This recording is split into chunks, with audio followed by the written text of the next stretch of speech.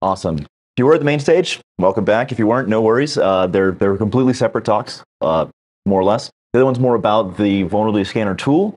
Um, and this one is more about actually using it. So the other one didn't have much in the way of live demo, a little bit of API stuff, but nothing special. Here's almost entirely going to be live demo. I only have a couple slides that essentially cue me into doing the demo. So let's go ahead and dive into it, shall we? So this here vulnerability scanner that is open source and free, and it's, uh, it runs off of its own engine as well as multiple other ones. And what we're trying to do with this is to essentially solve the issue that you tend to have in information security, where you have three choices of vulnerability scanners, right? Rapid7, Qualys, and Tenable, and that's it. And so if you're a mid-cap firm, or maybe you're doing a pen test for a mid-cap firm, and by mid-cap I mean 40 million to about 150 million, so we're not talking about small companies, but these are the companies that tend to have no dedicated information security personnel, but they do have dedicated IT, right? So if they get ransomware, whose head's on the chopping block, it's IT, but they also aren't going to go out and buy something like Tenable because that's going to cost them just as much as getting a test in the first place. And in most cases, they just choose to do neither of those things. So if you're an IT person in this situation, well, your head's on the chopping block and you're not getting any buy in from the organization to do anything about it. What can you do? Well, here's an open source scanner that should at least kind of come in the middle and solve some of those, those issues and challenges. And of course, when we're talking about something like that and that level of capability, you need to have a UI, a GUI, right? Because uh, command line, not so fun for everyone. In any case, we'll look at this real quickly. Um, so in this case, you might run a scan with the tool, and then you'll get information about different systems and vulnerabilities that may have come up in them.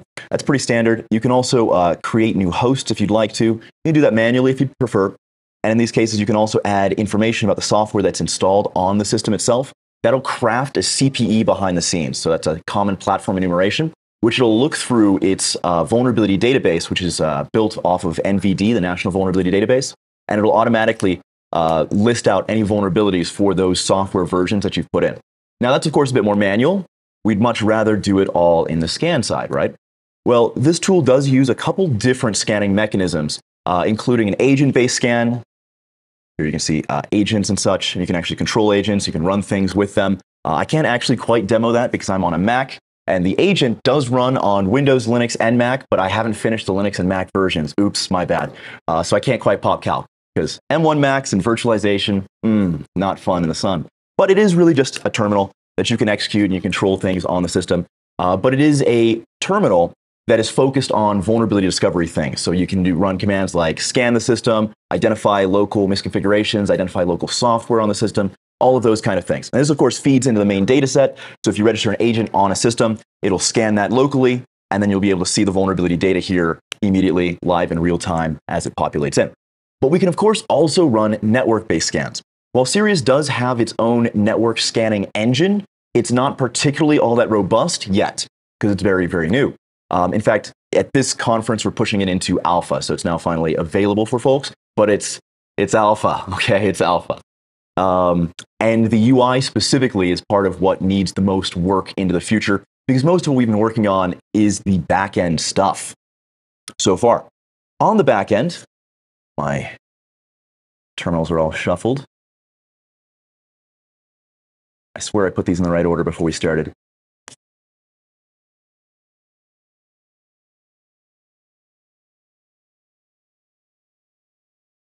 There we go.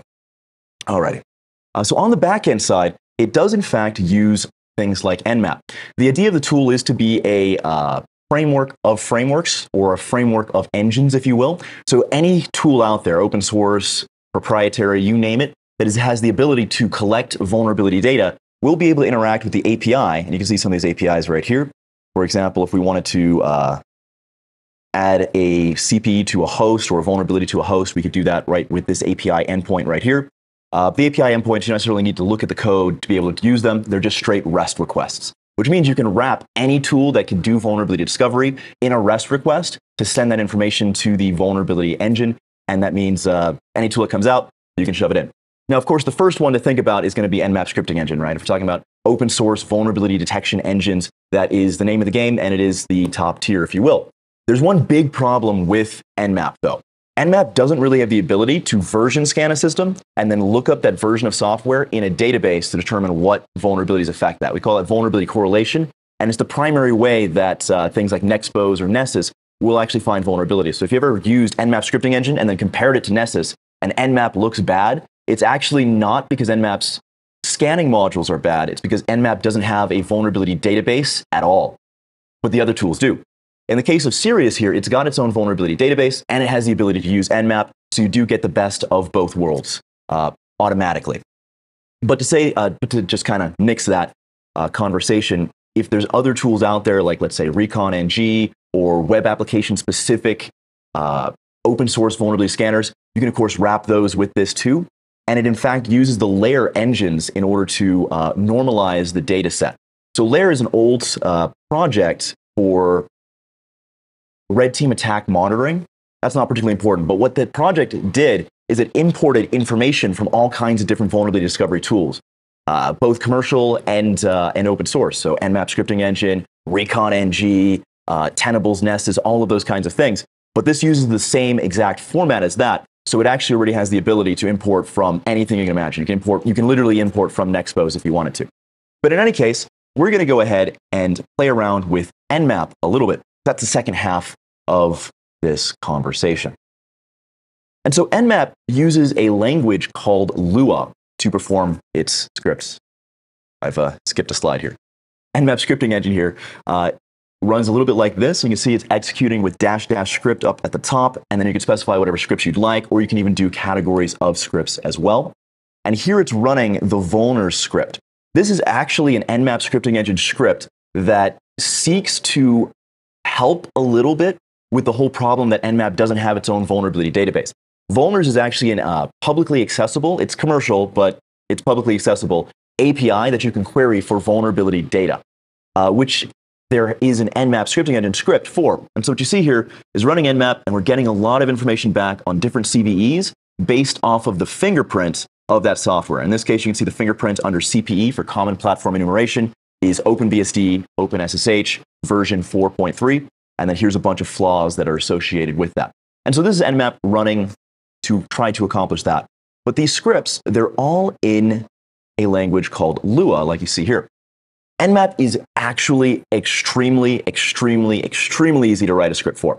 In the case of an Nmap script, there are three sections the head, the rule section, and then the action section. And here I've got a template script that you can kind of take a look at. And I've put comments in in Lua, comments are specified with a double dash before them, like you see here, to specify each one of these sections. And this is a very, very basic, very, very basic Lua script in Nmap. So here under the head section, we probably just put some information about, say, the description, maybe the author of the script. Then in the rule section, what the rules do is they determine when you're going to run a script. This is actually rather important, both from a false negatives perspective, as well as from a determining how to make your scanner efficient. For example, Let's say that you're running a uh, server and that server doesn't have any web servers on it. It's uh, maybe it's an FTP site, right? Is there any point in your vulnerability scanner throwing a bunch of HTTP modules for, let's say, Apache against that? No, it doesn't really make any sense, right? You're not going to get any value back from that. You're just going to be wasting a lot of time. Now, you might think, oh, you just throw it all at the, at the thing and whatever sticks, sticks, right? I'm not going to get a false positive when, you know, Apache isn't even running in the first place. But what you, what you might be missing with that is just how many scripts there are and how long this will take. So if you just said pew pew, fire all the lasers at every port, regardless of protocol, you would never finish that scan. And this is also the same thing that's done with any commercial scanner as well.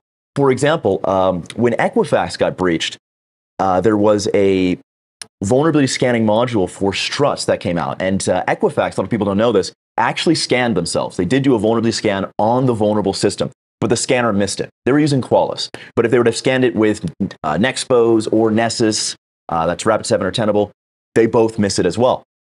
And the reason that they would miss this vulnerability is because of this section right here.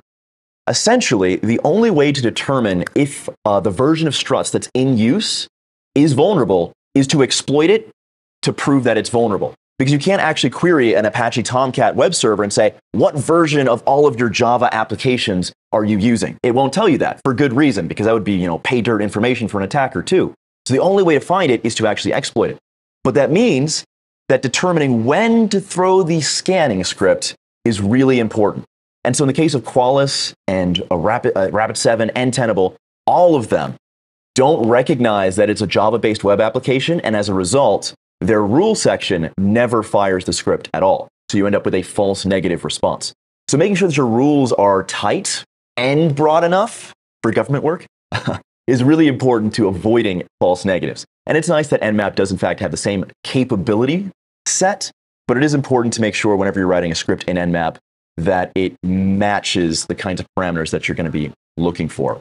And some things like Java based uh, applets are very, very difficult. This is also true of Log4j. So, Log4j last year, no way to identify that the version of Log4j is vulnerable in a web application without exploiting it. So, those um, JNDI ones, they exploit it directly. And in fact, uh, my next demo, we're going to write Log4j scripts in Nmap scripting engine, and we're going to throw a JNDI exploit here shortly. Um, but in those cases, we tend to want our port rules to be really, really broad because in so creating that exploit, we already know, or excuse me, creating that scanning module, we already know that we can't say if it's Java, then go for it because we don't necessarily know if that's actually true. In this case, though, we're just saying check if the port's open, and then if the port is open, do the action phase. So that's how the port rules work. If the port rule uh, measures true, then the action will complete. And in this case, we're just making a very, very basic first template script, right? So here it's saying check for the ports, in this case, TCP port specifically. And um, if the port is open, then the action is just return a response, the port is open. Let's go ahead and run this script together real quick. So here I'm using an IDE called VS Code. It's pretty nifty because I have a terminal that's baked into it as well. So I'm writing the uh, command down here. So nmap dash dash script, like so and I've named the script basic.lua. And it runs. Oh, huh. you have to tell it what you're going to scan. So I'm going to scan myself here real quickly. And what port did I want to check is open. I'm going to check for port 8080 because I know that that port happens to be open on my system. Make this terminal a little larger so we can kind of see. We run this. It tells us, um, oh, if I wanted to go only with one port, I do a dash B like this. And so it'll tell me just that one port. If we wanted to do all of the ports, we can just uh, not specify that, and it'll go after the Nmap top 1000 most common ports. So here you can see a number of ports that are open. Let's check for a negative response. How about if we went after this one? Here it tells us the port is closed. So very, very, very basic NSE script. Uh, of course, if you just ran Nmap by itself, you can get the same kind of information. You can tell, though, that this is an NSE script by the kind of output style that you've got here.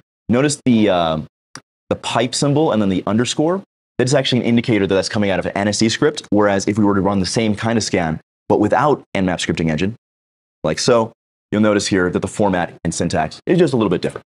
But we could, of course, do this for anything under the sun as well. Let's actually go ahead and create ourselves an Nmap scripting engine module for a real vulnerability for a vulnerable app that I've got running on this system. Excuse me, a vulnerable, vulnerable app that I'm about to run on this system. If I forgot that, that would have been a demo fail and a half. Assuming I can find the terminal. There we go. Close this here quick.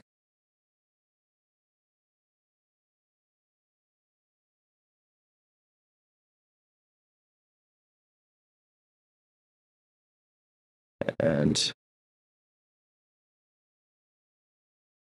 alrighty, let's give this a second to get started. Very cool. So now I have a Java-based application running on my system that is vulnerable to uh, JNDI injection via Log4j. Okay. So if we've, if we've come up with something like this, oh, one, one quick aside on that. So when Log4j first came out, right, there's always a continuum of time between a vulnerability coming out and the uh, uh, vulnerability scanning vendors having released a module for that. But in the case of Log4j in December, it was you know kind of hair on fire because you've got Jen Easterly at CISA coming out saying this is the first vulnerability that she's ever seen in her entire career, but there's no scanning modules for it yet because the vendors haven't done it yet. So the first scanning modules that came out for Log4j last year were actually written in Python uh, by random information security professionals. And then the first scanning tool that actually had a module for it was in fact Nmap. Nmap almost always, when we're dealing with a critical vulnerability, will outperform the, uh, the commercial scanners. And that's because the information security community is a little more on the ball than uh, um, the things you pay for. That's kind of crazy, but it's true. And in fact, um, in the case of the Equifax breach, uh, the first scanning vendor to have a scanning module for that was again Nmap. But what was really kind of funny about that is that the second one was Qualys. And here's what Qualys did they opened up the open source and free Nmap scripting engine script. They looked at it and they copied it and they pasted it and then they branded it. They took the user agent string and instead of having that be Nmap, they changed it to X Qualys. Wow, don't we get what we pay for, right? Yikes. So in fact, running, uh, creating Nmap scripting engine scripts, that's something that happens in the information security community all the time. It's really useful and it helps us out, particularly when we're dealing with a critical release of a vulnerability that's out there. Now, generally speaking, if we're looking for a scripting module like that, what we're going to do is we're going to go straight into Google and we'll say something like NSE, uh, Log4j, and immediately you'll see people's GitHub accounts where they've got uh, NSE scripts that they've created to do discovery. Now, what about Nmap main? Doesn't Nmap have a script database? It does, but the Nmap pro- project team is really, really slow about integrating other people's code. And sometimes they just don't do it at all. So unfortunately, Nmap, the team themselves, really, really bad about this. So when we're using Nmap scripting engine in the real world, oftentimes we might have to go out and research real briefly to find the scripts that we want and then use those. Uh, there's a project by NCSC called Scanning Made Easy, where they're collating a lot of these scripts into one library. So in that case, you might be able to get away with just going to one place, grabbing down all of their stuff, integrating that into your Nmap, and then boom, you're off to the races. Uh, but in this case, we can take a look at this, and here we see a script. This one's actually rather complicated. I'm going to switch to a, uh, I'm going to switch to that strut script that I've been talking about here real quickly, because it's, it's a much more basic one. NSE struts quickly. So this one, for example, did make it into the Nmap project directly. And we can open that up and we'll see information about the script. Now notice here that you've got the head section again, right? So here's the head section, just like we had in our first custom script. These uh, workspaces are not staying static, are they? So here we had our head section, but I only put the description and author fields in there. There's a lot more that you could put. Um, you may also need to import things. We'll talk about that here in a little bit. Don't worry about that just yet. Uh, but you can put information in here like, how do you use my script? You could do that. You don't have to do that, but you absolutely can. Here's the description field again, uh, author information. Categories is also quite interesting. So in the case of Nmap scripting engine, you can run a group of scans together. And the vuln category of scripts tends to be the one that we use most frequently. There's a vuln category, there's a safe category, there's a bundle of other ones as well. But this is also a bit of an issue with Nmap because who picks what category the script goes into? The person who made it, right? So this script right here is pretty safe. All it does is reach out to the system and make it call back. Could you call that exploitation? Yes, it technically is exploitation, but there's really no risk of crashing the remote system. It's rather safe. You could make an argument for putting it in that category as well, but the author didn't. So just be aware if you're using Nmap scripting engine with big categories, you might be missing out on certain scripts as well. Um, that's just the nature of open source tooling. And so here we see the port rule section, and this one just says, if it is an HTTP service, then run this scan. And then here we see the actual action that's being performed to determine whether or not it's vulnerable. Most of this is actually just the output, because here it's actually building the vulnerability report that it's going to respond with if it turns out to be vulnerable. That means that this is barely even code. Basically, we're just deciding what we want it to say if it turns out to be vulnerable. In fact, the only thing that is the vulnerability check here, so the only thing that's real Lua code to make the vulnerability check work, is these two lines right here. That's it. That's it.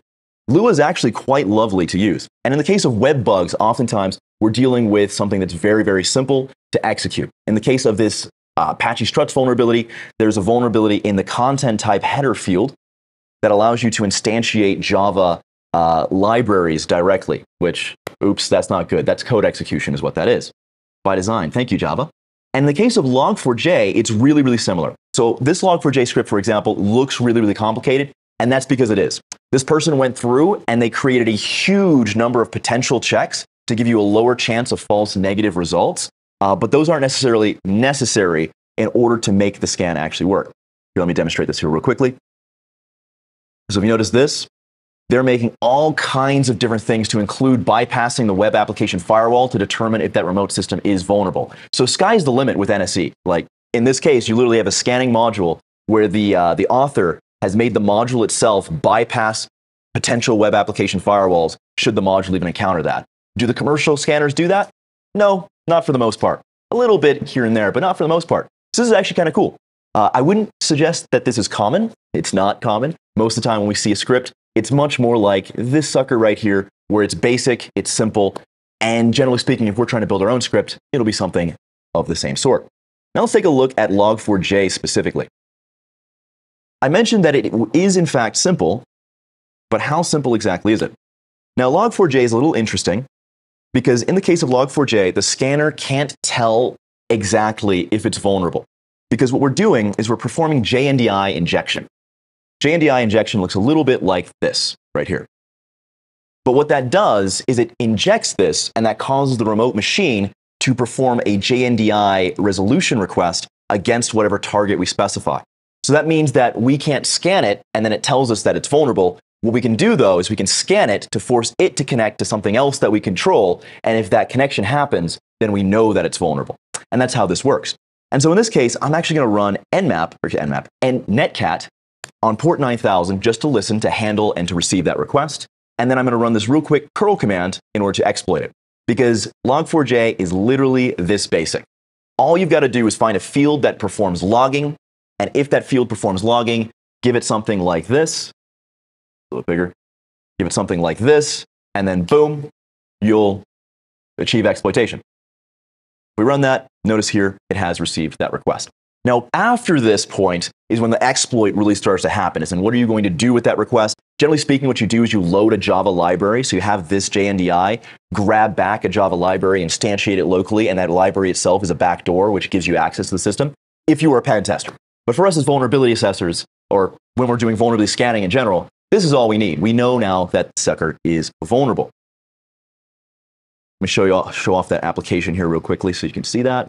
This is just a, a base vulnerable app for demo purposes and such. Uh, did I break the app? Might have. Demo fail already. There we go. So here's the app. And uh, this app, in fact, even tells you, hey, look, if you're trying to test for the vulnerability, we've got a special header field that we put in place uh, that is vulnerable. Now, real world, it's not going to be like that, right? It could be in a header field. Uh, but this is one of the issues that a lot of people had with uh, Log4j because immediately people were like, there's 6 billion affected devices. No, they're not. No, there are not. There are 6 billion devices that have Java installed, and there are probably over a billion devices that happen to have Log4j installed as well, because it's a part of Java, right? But then, is the application that is theoretically vulnerable even using it? And if it is using it, is it logging with it? And if it is logging with it, does some other third party have the ability to interact with that to force it to log what they want? See, the reason that this works is because the application is logging this directly, and I get to control what's being logged. Therefore, we can do JNDI injection as a result of that. So it turns out that Log4j is a lot more complicated when we're looking to see if it's actually vulnerable, um, or if exploitation is possible, rather, than uh, just pick a content type field and then send some data across. But sometimes it does actually work that way. All right, let's take a look at this inside of Nmap now. So we might actually want to do, when we're starting out on building a script like this, is we might want to grab something that's already built, like let's say this script for struts, copy that, paste it in, and now we've got some place to start.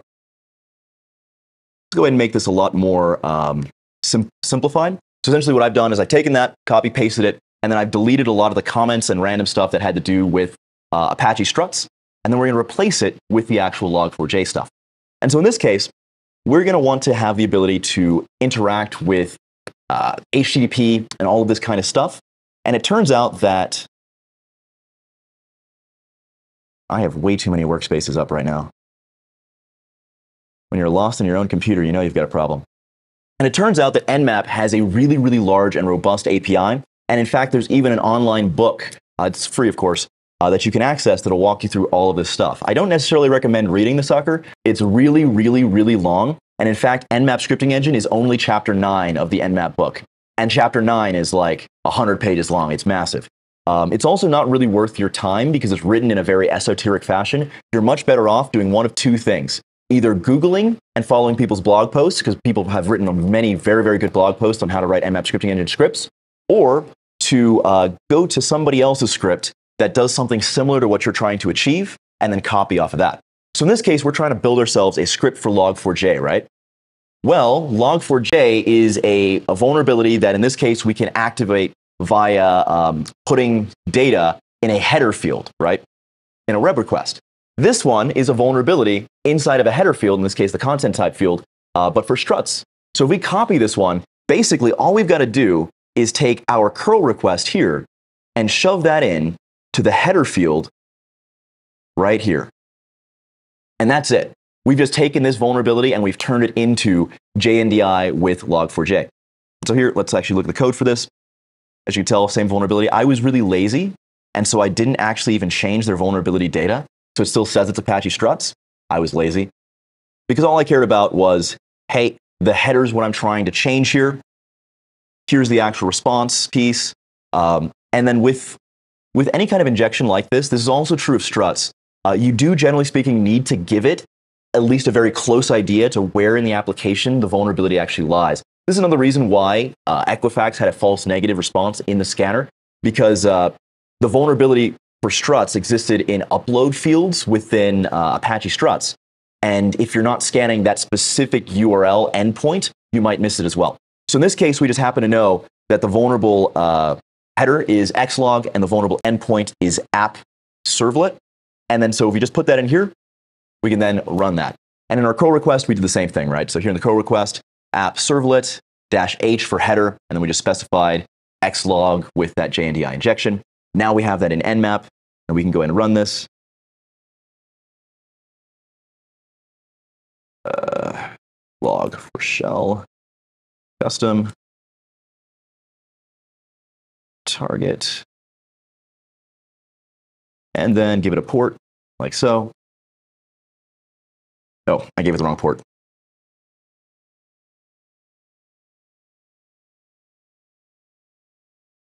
Now we see that it is vulnerable. Now again, I was too lazy to write in log4j, so it still says struts, but as you can see here, we've got the actual code in there. All you have to do to make the response valid is change this information right up, up here. And that is Nmap scripting engine. Any questions?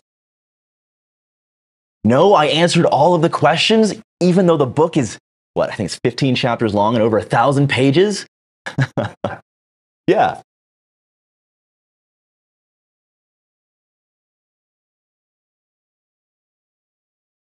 Yep. Um, so I recommend using the vuln category scripts in general, and uh, the vulner script is actually inside of the vuln category scripts as well. Mm-hmm. So if you just run nmap, uh, in fact, you can run nmap dash sc. Let me, uh, let me show that off here real quick. So if I were to run a little bit more of an interesting nmap command, maybe dash T4 stands for timing template 4, just makes the scan go a little bit faster. Uh, I can do dash dash script to specify what kind of scripts we'd like to do. And if I want to go for a full category, we could do something like vuln, like this. Uh, and again, the vulner script is actually inside of this. Uh, the uh, Apache strut script is inside of this. The, uh, the log4j script is also inside of this and then um, and then we could run that. Or we could actually do this. We could say dash sc. SC stands for script scans. This will run the default scanning modules of Nmap, so it doesn't include um, the vuln category scripts, but vulners is also in the default uh, category. So you could do it this way as well. Let's go ahead and do it with the vuln category though. Like this, vuln, two dashes, and then we give it a target. Hopefully, we get no findings because uh, my computer is not supposed to be vulnerable. that would be embarrassing. Uh, but that's how you would run uh, the whole category. Yep. Absolutely. Any other questions? Well, thanks again, everybody, uh, for coming to the session. Um, big round of applause for Matt.